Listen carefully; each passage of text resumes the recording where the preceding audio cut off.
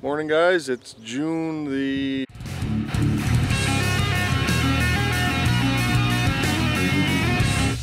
26th. Uh, I'm out here, thought I'd take a look at the corn, see what's going on with that, and uh, we'll up to a few other things here in the video. Alright guys, so I'm here looking at the corn. It's been a couple days now, or a few days since we planted it. Uh, I just wanted to check, see how the plastic's doing. And I noticed some issues. So I'll turn the camera around, we can take a look.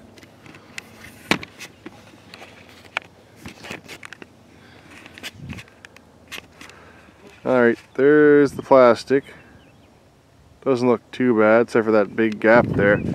It seems as though the wind in a few places has got under it and flipped it over. So, should probably put some dirt down there so it won't keep going. But the real problem is, and I'll zoom in to show you guys, that right there. So we're getting crows going through the field and what they're doing, I'm trying to step over here. Easier to walk across the end Here we go. So what they're doing is they're reaching down through the plastic and they're eating the corn. You can see there those holes. all from crows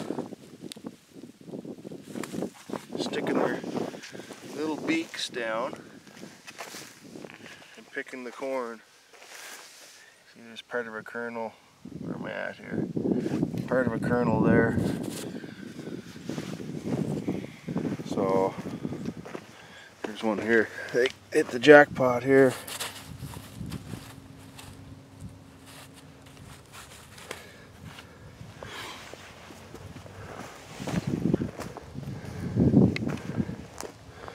more here on this side. Well, let me turn around here. There.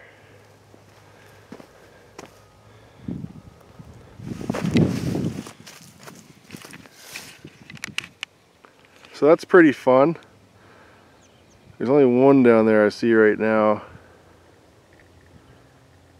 I looked out here earlier, we were doing a little bit of fencing and uh, there was probably eight or ten crows just giving her on the corn so that kind of sucks not sure how bad of an effect it's going to have on the yield but obviously it's going to have some effect so we'll probably have to uh, I don't know rig up some kind of a scarecrow or something I guess.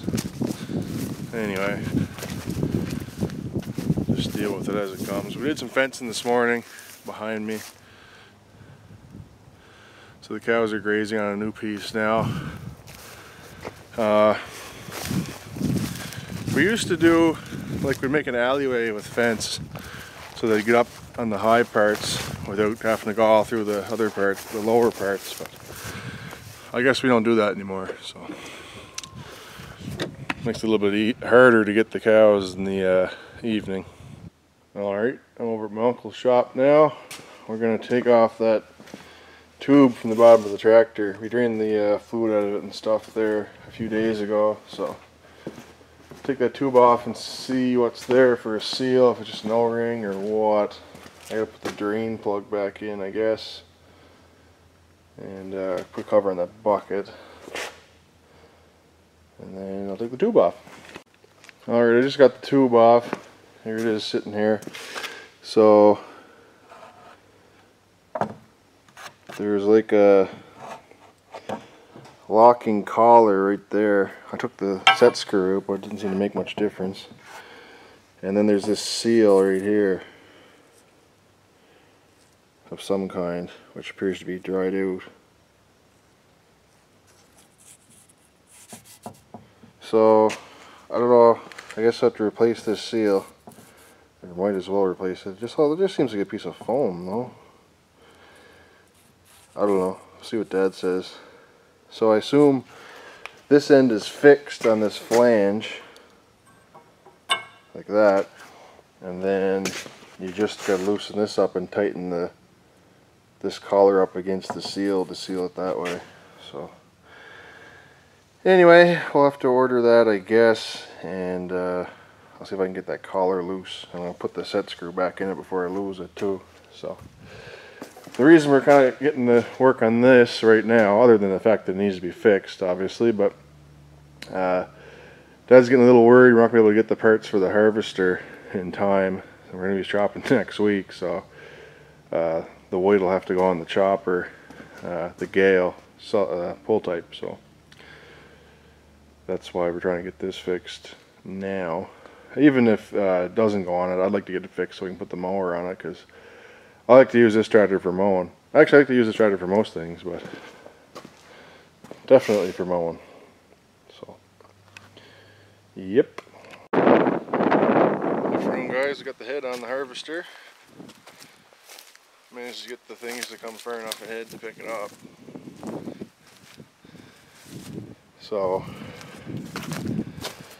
I need to find the correct extensions to go there uh, for the guide plates in the throat. The pan is different down there. Uh, had a bit of a boo-boo here too. This here bar has to come off because it hits right there as we found out. That was nice. Um, there's also a support plate that goes from side to side down here because it's supposed to be touching. Let me see if you guys can see. There we go. It's supposed to be touching around there somewhere, but it isn't. So there's some kind of a support plate that goes from one side to the other. It has to go there. PTO shaft fits and uh, it does work. So technically it does run and everything so at least we got that much going for us. So yeah, I don't know if she's going to be making it for first cut. Maybe later on. We'll see how it goes.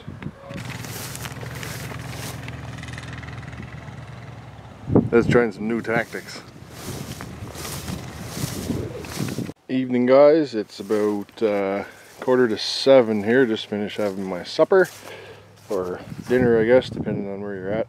Uh, so I haven't done anything else to the garden since I tilled it last but I just spread some fertilizer over it. Then I'm to hit it with the tiller again and then we're going to plant it. I got my seeds in the box there some corn and uh, peas and beans and stuff.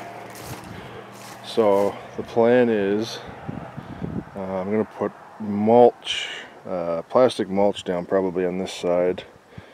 I think eight feet maybe and the rest will just be conventional I guess you'd call it. Uh, so eight feet of plastic. I'm not sure how far apart the rows are going to be in that yet, but the rest of it will be four feet apart so I can get the tractor down in between the rows uh, just for weeding purposes. Uh, it's not a very big garden. I mean, you could probably weed it pretty easily, but uh, by hand. But I don't know. That's not the uh, fun of it for me. I like playing with my tractors, so. That's the plan now. I found this part in the garden. I don't know what it is.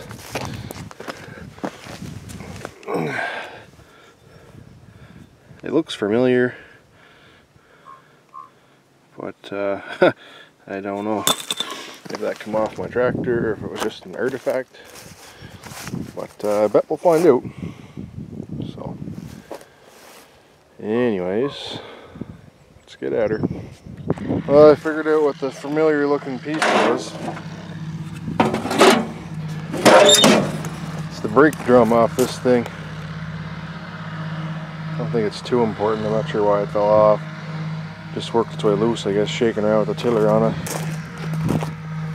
Kind of just normal, you know, you start working 50 uh, something year old tractors, you're bound to find some loose bits and pieces. So. Anyway, I got it tilled, so I'm gonna lay out my plastic. Actually, I might do a little bit of raking first, and then lay out my plastic. Hey guys, well, I ran out of steam for the evening. Uh, I'm not even sure what time it is. My phone died. It's after 8 o'clock anyway. But, uh, oh, this whole section here I planted sweet corn. There's one, two, three, four uh, rows, four feet apart. This one here, I wasn't going to put one close to the edge like I did, but I don't know, I wanted to get a little bit more in, so I did anyway. Um, I don't know, we'll see how that goes for me. I just I won't be able to cultivate on this side of it like I wanted to. I only do the one side, but I guess if I had to, I could uh, till a little bit on this side anyway, but let's put my tape away. I got two rows of plastic, never even took it. Just gonna cut that. Two rows of plastic, just kind of dirt holding down the middle of it. This is more to stop the weeds from coming through where the plants are. So this end here, I haven't planted anything yet.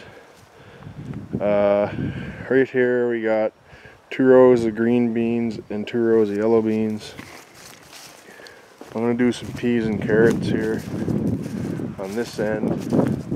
That row is sweet corn under plastic just to compare with the rest of it. And this row here I'll probably do popcorn. I have a bag of that too. So we'll try that. It didn't work out very good last year, but you never know. See if it works out any better for me this year. So, yeah, I don't know if I was really bang on my four feet apart, but I had about eight inches uh, to spare. Like I can see looking at it that these two rows are further apart than these two rows. I don't know, I guess I need GPS on my tractor. Wouldn't that be something? Anyway, time to go in the house and lay down, I think.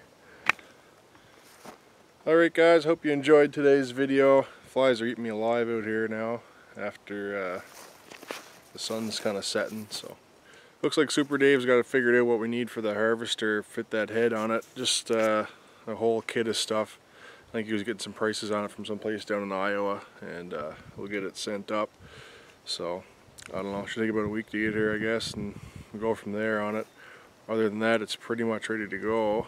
Uh, a few other little minor things, you gotta finish the chute and some of the side panels, that's about it, but nothing critical other than the chute, I guess that's kind of important. But uh, anyway, Hope you guys enjoyed today's video. Don't forget to hit the thumbs up button and uh, help the video out for me, help the channel out. Uh, we'll catch you in the next video. Don't forget to subscribe and comment and all that good stuff. And uh, see you tomorrow, guys.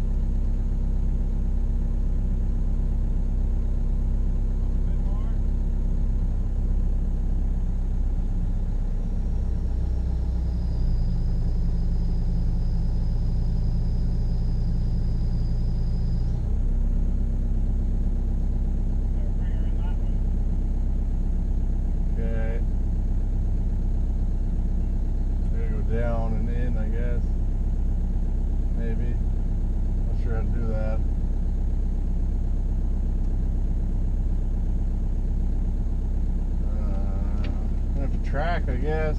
Huh? Went to track that way, I guess.